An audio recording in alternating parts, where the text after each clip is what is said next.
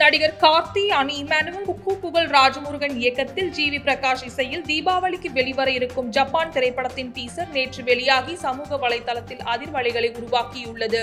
இது நடிகர் கார்த்தியின் இருபத்தி ஐந்தாவது திரைப்படம் என்பதால் படத்தின் மீது மிகவும் எதிர்பார்ப்பு இருக்கின்றது என்பது குறிப்பிடத்தக்கது.